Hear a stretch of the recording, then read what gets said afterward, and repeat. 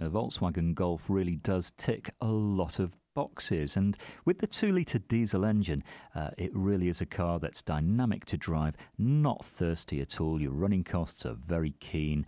And of course, with a VW, you can expect great build quality and reliable motoring.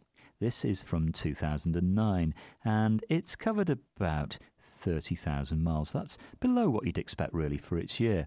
Nice silver paintwork and inside you've got a contrasting interior, uh, grey cloth. It's very comfortable, nice behind the wheel there, and everything's there for you like a CD player, uh, power assisted steering. You've got electric windows as well. The good news are the running costs. On the move, you can expect about 58 to the gallon. I think you'll probably touch about 70 if you're doing the motorway. Uh, six months tax is £55. If you have an old car that you would like to part exchange, or if you need finance, no problem. Come on down, we can sort all that for you with pleasure. How about a test drive? Come and discover this great car for yourself at Fords of Winsford.